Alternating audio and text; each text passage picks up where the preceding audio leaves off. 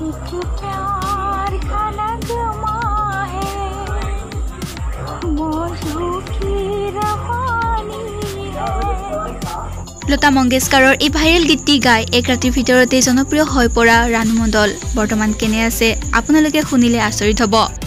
মুকনিয়াৰ বেশত থকা ৰাণু মণ্ডলে এক ৰাতিৰ ভিতৰতে জনপ্ৰিয়তা অৰ্জন কৰি একেবাৰে অহংকাৰী হৈ পৰিল আৰু সেই অহংকাৰেই হ'ল পতনৰ মূল কাৰণ ৰাণু মণ্ডলৰ বাবে যাৰ বাবে সৰগ ঢুকি পোৱা যেন পাইছিল ৰাণু মণ্ডলে আৰু নিজৰ অহংকাৰেই নিজকে পতন কৰিলে পুনৰ ভিক্ষাৰীৰ সাজত ৰাণু মণ্ডল।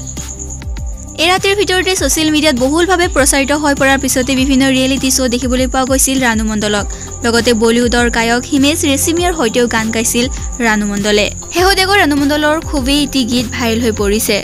য'ত সিঁচৰিত মেকআপ আৰু লিপষ্টিক লগাই চাৰিগামা পা গোৱা পৰিলক্ষিত হৈছে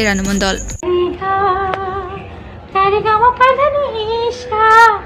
সা রে গা গা গা সা রে গা গা গা সা রে গা পুনৰবাৰ আগৰ অৱস্থালৈ ঘূৰি অহা ৰাণুমণ্ডল এইবাৰ এই গীতটিৰ জৰিয়তে ছ'চিয়েল মিডিয়াত খুবেই ভাইৰেল হৈ পৰিছে আৰু পুনৰবাৰ চৰ্চিত হৈছে ৰাণুমণ্ডল